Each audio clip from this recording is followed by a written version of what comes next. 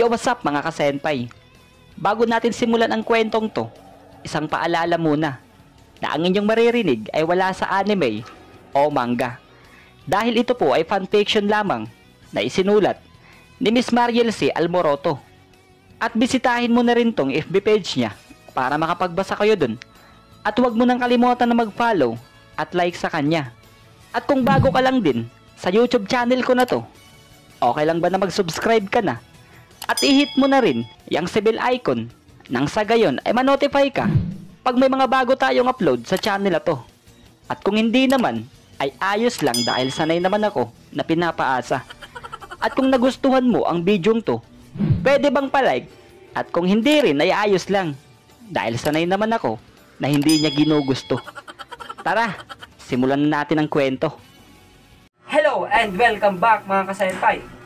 Ito na po pala ang chapter 135 ng Slam Dunk College Matches at simulan na natin. Sa nakaraang chapter 134 nga ay isang napakagandang series siya. Ang ginawa ni Sakuragi, harap-harapan dito kay Masashi Kawata na sobrang hinangaan talaga ng lahat ng mga manonood.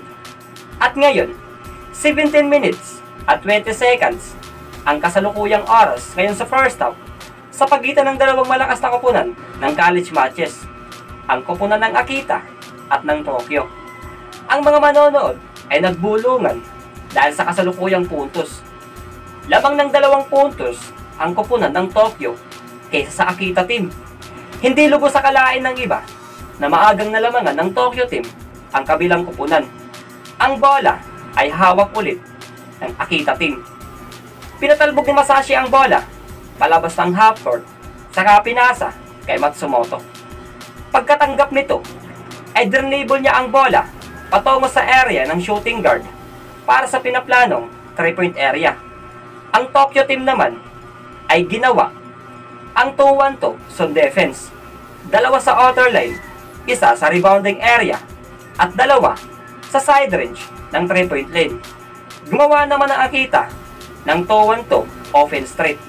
Dalawa sa player nila ay sinugod ang 2 player na nasa side range ng 3-point line. Samantala si Fukatsu, Masashi at Matsumoto naman ay naiwan sa labas. Tatlong player ang nagpaiwan sa outer area, samantala ang dalawa, inatake ang loob. Hinarap nila si Fukuda at Jin. Samantalang nag-shift ng babantayan sina Sendo at Fukuda. Samantala tong si Hanamichi naman ay mag-isang nakatayo sa rebounding area. Wala siyang mabantayan dahil naiwan sa outer area si Masashi kasama ang dalawang best shooter ng Akita Prefecture. Ang bola na hawak ni Matsumoto ay pinasa niya kay Masashi. Nagulangtang na lang si Hanamichi dahil alam niya na bukod sa malakas sa sentro itong si Masashi ay shooter din to. Ang numero unong sentro na kayang pumuntos ng sunod-sunod na tres. Napatingin si Hanamichi kay Sendo na nakatalikod. Habang gumagalaw ang mga daliri nito, pinahayagan siya ng senyas. Senyas na kailangan atakihin si Masashi kapag hawak nito ang bola. Tiningnan siya ni Sendo sa mata at tumango naman itong si Sakuragi. Ang bolang hawak ni Matsumoto ay puminesto para tumira. Tinaas ni Matsumoto ang bola para mag-long jump shot. Pagka-post nito, pak! Napalpal ni Sendo ang bola mula sa kanya bago pa man ito mabitawan ang bola. Ang bolang napalpal ay tumalbog palayo sa kanila. Pero agad yun hinabol ni Fukatsu. Giniba naman ni Masashi ang depensa ng Tokyo team. Versa niyang pinasok ang loob ng court kung saan nakaabang si Hanamichi. Tela baliwala lang kay Masashi ang mga player na humarang sa kanya. Ang mga referee naman ay tiningnan ng mabuti ang mga galaw sa rebounding area dahil baka magka-changing foul na magaganap. Pero na-handle ni Masashi ng maayos ang kanyang kilos kaya naisahan niya ang mga referee. Napadiin ng ngipin si Hanamichi dahil hindi pumipito ang mga referee. Umatras si Hanamichi malapit sa ilalim ng ring upang pagharian to. Nakita niyang tumatakbo palapit sa kanya itong si Masashi. Ang bulang nakuha ni Fukatsu ay hinagis pa itaas patungo kay Masashi. Napatingin si Masashi sa bola at siya ay tumalon upang saluhin to. Ayan na naman! Masashi! Laban kay Sakuragi na naman! yayanig ulit panigurado. Sigawan ng mga tao na nadadala sa sobrang tense ng laban. Habang nasa ere si Masashi, ay timing niyang nakuha ang bola na may perpektong anggulo para madakdak niya ang bola sa ring. Naalarma si Hanamichi sa kanyang tiyempo. Bilang temporaryong sentro ng Tokyo team, ay responsibilidad niya ang higanting player ng kalabang kupunan. Responsibilidad niya ang higanting player na si Masashi Kawata na halos kasing tangkad lang ni Hiroshi Moroshige. Ang kamay ni Masashi ay 10 inches na malapit sa ring nung tumalon si Hanamichi para i-block siya. Pak! Pareho nilang hawak ang bola. Magaling sa kuragi, ganyan nga. Huwag mo siyang hayaan magpasikat. Mahinang sabi ni Kusakusa mula sa coaching box. Huwag kang magpapatalo sa batang sentro na yan. Masashi, mas eksperyensado ka kaysa sa kanya. Sabi rin ni Coach Kawarama mula sa kanilang panig. Kahit nasa ere, ay nagpersahan ng dalawa. Tinulak nila pareho ang bola. Tinutulak ni Masashi ang bola.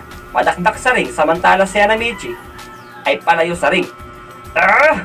Patuloy nilang persahan. Lumikom ng persa tong si Sakuragi sa kamay niya kung saan nakahawak sa bola. Sige Sakuragi! Sigaw ni Rokawa na ikinatingin ng miyembro niya sa kanya. Pak! Ang palpal na yun ay nilaanan ng pwersa kaya dahil dun ay paupong bumagsak si Masashi sa sahig. Lag! Nanlaki ang mga mata ng lahat sa nangyari. Pumito naman ng referee. Defensive foul. Black number 10. Sigaw ng referee. Sabay turo kay Hanamichi. Blue number 7. Free throw. Dagdag pa ng referee na may senyas na dalawang shot ang gagawin. Medyo hingil na tinaas ni Hanamichi ang kanyang isang kamay bilang respeto sa desisyon ng referee. Hindi na masama, sabi ni Pugatsu.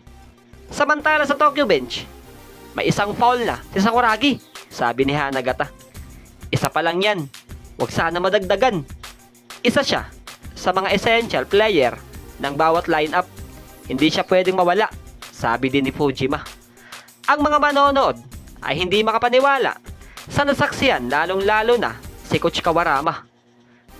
Kasi simula pa lang ng laro ay matindi agad ang pangyayari at mga pinamalas na kakayahan lalo na ang dalawang sentro ng parehong koponan. Napayukom ng kamao si Coach Kawarama. Kung ganun, totoo ang mga bulungan tungkol sa batang pulang buhok na to.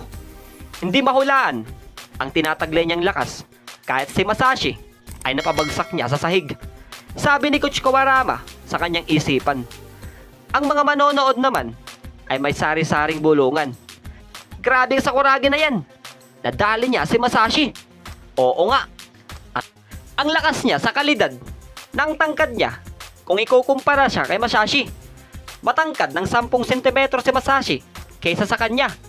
Kaya, hindi na ako magugulat kung isa ang Sakuragi na yan sa pag-aagawan ng mga company coaches. Samantala sa French bench ay napasuklay na lang ng buhok itong si Yuki. He's stunning. Sakuragi is so monstrous with that black. Amis na sabi ni Olivia sabay kuha ng litrato. Ayos! Nung nag-training kami nila Sakuragi sa aming tatlo ni Sakusa at Pusaka, nabiktima niya rin ako ng ganyan. Kung ikaw kumpara ko ang sarili ko kay Masashi Kawata, ay masasabi kong mas malakas yung pagbagsak ko nun sa lupa. Nahangising sabi ni Yuki na parang inaalala ang nangyari.